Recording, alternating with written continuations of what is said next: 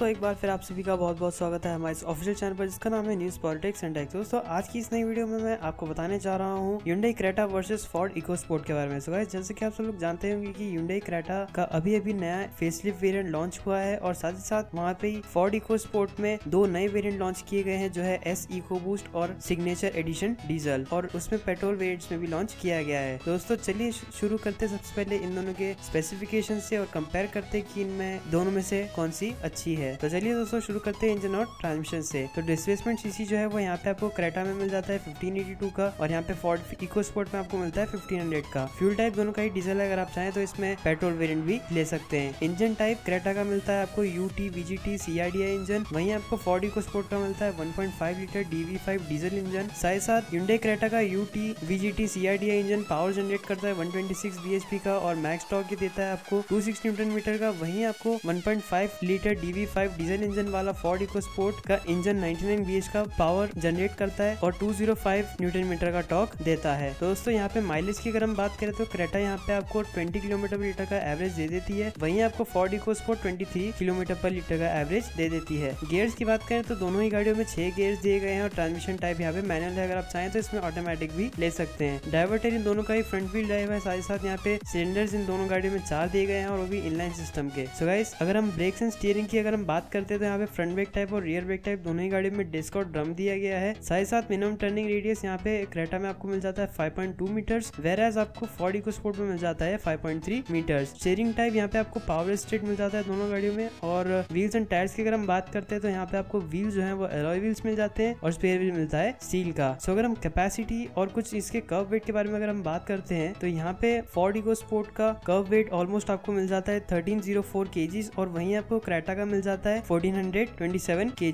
Ground clearance जो है वो यहाँ पे आपको क्रेटा में मिलता है 190 mm का और वहीं आपको फोर्ड इको स्पोर्ट में मिलता है 200 mm का। कैपेसिटी जो, अगर हम कैपेसिटी में इसकी बात करें तो यहाँ पे आपको बूट स्पेस 400 लीटर्स की मिलती है क्रेटा में, वहीं आपको फोर्ड इको स्पोर्ट में मिलती है 352 लीटर्स की। सो फ्यूल टैंक कैपेसिटी जो है वो यहाँ पे क्रेटा में आपको 55 लीटर्स की मिलती है और इको स्पोर्ट में 52 लीटर्स की। सो दोस्तों, ये तो था कुछ इसके स्पेसिफिकेशन के बारे में। तो हम बात करते हैं इनके फीचर्स के बारे में। तो यहाँ पे आपको एयर बैग्स मिल जाते हैं दोनों गाड़ियों में छह और वहीं आपको सीट बेल्ट वार्निंग भी दोनों में कॉमन मिल जाती है। पर whereas Ford eco sport में आपको दो फीचर्स ज़्यादा मिलते हैं, जो कि है टायर प्रेशर मॉनिटरिंग सिस्टम और चाइल्ड सीट एंकर पॉइंट्स दोस्तों ब्रेकिंग एंड ट्रैक्शन में यहाँ पे एबीएस मिल जाता है आपको, दोनों गाड़ियों में कॉमन है। ईबीडी भी कॉमन है और साथ ही साथ ईएसपी भी कॉमन है, यानी कि इलेक्ट्रॉनिक स्टेबिलिटी प्रोग्राम से यहाँ पे फोर्ड इको स्पोर्ट में आपको ब्रेक एडजस्ट मिल जाता है, जो कि क्रेटा में नहीं है, और साथ ही साथ ट्रैक्शन कंट्रोल सिस्टम मिल जाता है, जो कि क्रेटा में नहीं है। क्रेटा में हिल होल्ड कंट्रोल दिया गया है whereas Ford eco sport में नहीं दिया गया है। तो दोस्तों लॉक्स एंड सिक्योरिटी के बारे में अगर हम बात करते हैं तो यहाँ पे आपको इंजन इमोबिलाईजर मिल जाता है दोनों में स्पीड सेंसिंग डोर लॉक मिल जाता है और चाइल्ड सेफ्टी लॉक मिल जाता है। वेर सेंटर लॉकिंग जो है, वो क्रेटा में रिमोट से ऑपरेट की जाती है, वहीं फोर्डी को स्पोर्ट में कीलेस से। सो अब हम बात करते हैं कुछ कंफर्ट एंड कन्वीनियंस के बारे में। तो यहाँ पे आपको जो एसी मिलता है, वो ऑटोमेटिक क्लाइमेट कंट्रोल मिल जाता है और रियर एसी जो है, वो क्रेटा में आपको मिलता है वेंट्स ओनली वेर फोर्डी को स्पोर्ट में ये नहीं दिया गया है। तो यहाँ पे ट्वेल्व वोल्ट पावर आउटलेट जो है, वो दो दिए गए हैं, दोनों रोज में एक एक और शेयरिंग एडजस्टमेंट यहाँ पे ड्राइवर्स के लिए क्रेटा में सिर्फ़ टिल्ट दिया गया है वेर एज इको स्पोर्ट में टिल्ट एंड टेलीस्कोपिक दोनों दिया गया है। तो यहाँ पे आपको कीले स्टार्ट और बटन स्टार्ट मिल जाता है क्रूज कंट्रोल मिल जाता है पार्किंग सेंसर मिल जाते हैं, और पार्किंग असिस्ट जो है वो रिवर्स कैमरा विद गाइडेंस मिल जाता है आपको क्रेटा में whereas Ford eco sport में सिर्फ़ रिवर्स कैमरा यहाँ पे वैनिटी मिरर जो है वो क्रेटा में सिर्फ़ को ड्राइवर्स के लिए मिलते हैं, और यहाँ पे फोर्ड इको स्पोर्ट में ड्राइवर और को ड्राइवर दोनों के लिए। तो सीट्स एंड अपहोल्स्ट्री की अगर हम बात करते हैं तो यहाँ पे सीट का मटेरियल जो क्रेटा में यूज़ किया गया है, वो है लेदर और साथ ही साथ यहाँ पे लेदर रैप किया गया है स्टेयरिंग व्हील को और गेयर नॉब को भी। सो so, वही फोर्ड इको स्पोर्ट को फैब्रिक का मटेरियल दिया गया है। साथ ही साथ यहाँ पे स्टीयरिंग व्हील और गियर नॉब जो है उसको भी लेदर रैप किया गया है। यहाँ पे ड्राइवर सीट एडजस्टमेंट जो है वो दोनों ही गाड़ियों में मैनुअल विद हाइट एडजस्टमेंट दिया हुआ है और फ्रंट पैसेंजर सीट एडजस्टमेंट है वो भी मैनुअल है। So rear passenger seat type जो है वो बेंच टाइप यहाँ पे आपको मिल जाता है और यहाँ पे इंटीरियर जो है वो दोनों में ही आपको ड्यूअल टोन मिल जाता है यानी कि आपको क्रेटा में मिलते हैं। Premium dual tone black and beige और यहाँ पे आपको फोर्ड इको स्पोर्ट में मिल जाता है ड्यूअल टोन जो की है black and grey so exterior की अगर हम बात करते हैं तो यहाँ पे आपको सनरूफ मूनरूफ जो है दोनों गाड़ियों में मिल जाता है, जो की इलेक्ट्रिकली एडजस्टेबल है। साथ ही साथ यहाँ पे आपको क्रोम फ़िश एग्जॉस्ट पाइप भी मिलता है, जो कि क्रेटा में दिया गया है वेरास फोर्ड इको स्पोर्ट में ये नहीं है। सो लाइटिंग की अगर हम बात करते हैं तो यहाँ पे आपको हेडलैम्प जो है दोनों के दोनों गाड़ियों में आपको प्रोजेक्टर के मिल जाते हैं वेरास आपको फॉलो मी ऑन हेडलैम्प भी दोनों गाड़ियों में मिल जाते हैं। यहाँ पे आपको ऑटोमेटिक हेडलैम्प क्रेटा में नहीं दिए गए हैं, पर फोर्ड इको स्पोर्ट में ये दिए गए हैं। दोस्तों, अब हम बात करते हैं इनके मेन फीचर्स के बारे में। तो यहाँ पे आपको इंटीग्रेटेड म्यूज़िक सिस्टम मिलता है, जिसका हेडिंग साइज़ देता है टू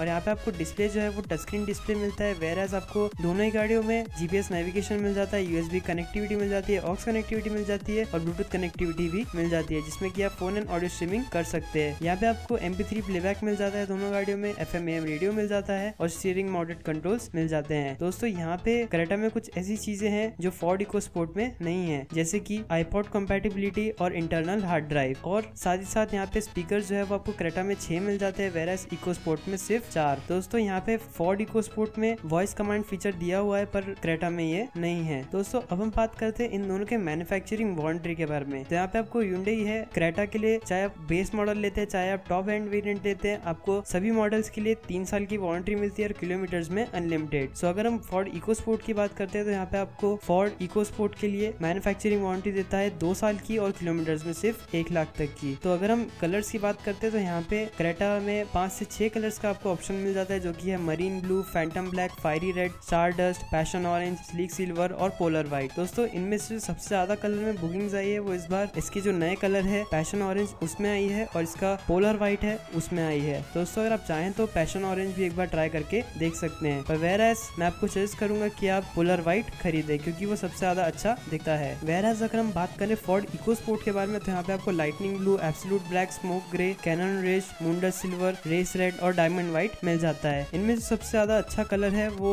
लाइटनिंग ब्लू है। आपने काफ़ी ज़्यादा इसको रोड पे देखा भी होगा। साथ ही साथ डायमंड व्हाइट भी इसमें काफ़ी अच्छा लगता है। तो दोस्तों, ये तो था इसके कलर स्पेसिफिकेशन और फीचर्स के बारे में। तो हम बात करते हैं इनके प्राइस रेंज के बारे में। तो यहाँ पे आपको क्रेटा में डीजल वेरियंट की अगर हम बात करें तो यहाँ पे अगर आप मैनुअल लेना चाहते हैं तो यहाँ पे रेंज शुरू होती है ऑलमोस्ट इलेवन लैक्स से लेके sixteen point eighty two lakhs तक। ये मैं आपको डायरेक्ट ऑन रोड प्राइस बता रहा हूँ, एक्स शोरूम दिल्ली के हिसाब से। दोस्तों, अगर आप चाहते हैं कि आप इसमें डीजल भी खरीदे तो अगर आप डीजल में ही अगर आप ऑटोमेटिक वेरिएंट सोच रहे हैं तो इसमें आपको दो वेरिएंट्स मिलते हैं, जिनकी शुरुआत होती है 14.74 लाख से लेके 16.56 लाख तक। पर दोस्तों, इसमें एक मेन प्रॉब्लम ये है कि अगर आपको छह एयर बैग्स का फीचर अगर आपको चाहिए तो आपको डीजल में मैनुअल वेरिएंट ऑप्ट करना पड़ेगा। और साथ ही साथ, अगर आप पेट्रोल वेरिएंट में जाना चाहते हैं तो पेट्रोल में भी आपको मैनुअल वेरिएंट लेना पड़ेगा। दोस्तों पेट्रोल के मैनुअल वेरिएंट की शुरुआत जो है, वो 10.44 लाख से लेके 15.12 लाख तक जाती है। अगर आप चाहते हैं कि आप इसमें ऑटोमेटिक वेरिएंट खरीदे तो इसमें सिर्फ़ एक ही वेरिएंट आता है, जिसकी शुरुआत होती है 14.95 लाख तक। दोस्तों, अब हम बात करते हैं फोर्ड इको स्पोर्ट के बारे में। तो यहाँ पे अगर हम देखें तो डीजल में मैनुअल वेरिएंट जो है, वो 9.4 लाख से लेके 13.7 लाख तक इसकी रेंज जाती है। साथ ही साथ यहाँ पे आपको, अगर आप ऑटोमेटिक वेरिएंट लेना चाहते हैं तो वो अभी तक इसमें लॉन्च नहीं किया गया है। वेरस अगर आप चाहते हैं आपको पेट्रोल में लेना है तो पेट्रोल में आपको ऑटोमेटिक मिल सकता है। उसमें भी दो ही वेरियंट मिलते हैं, जिनकी शुरुआत होती है ten point eight six lakhs से लेके twelve point seven five lakhs तक। वेरस अगर आप मैनुअल लेना चाहते हैं तो फिर आपको एट पॉइंट सेवन लैक्स से लेके twelve point five eight lakhs तक का बजट बनाना पड़ेगा। दोस्तों, मेरे सजेशन में तो यूंडई क्रेटा एक बहुत ही बढ़िया गाड़ी है। भले ही थोड़ी सी महँगी ज़रूर है, पर उसमें सेफ्टी फीचर्स उसकी रेटिंग्स उसका डिज़ाइन उसका इंजन वो फोर्ड इको स्पोर्ट से कहीं ज़्यादा बेहतर है। दोस्तों, अगर आपको कोई भी क्वेरीज है इन दोनों गाड़ियों के बारे में तो आप ज़रूर नीचे कमेंट कर सकते हैं कमेंट बॉक्स में। दोस्तों, आज की वीडियो में तो बस इतना ही। अगर आपको मेरी वीडियो पसंद आई हो तो मेरा चैनल ज़रूर लाइक और सब्सक्राइब करें। So thank for watching video guys Same amazed and stay tuned for my next video.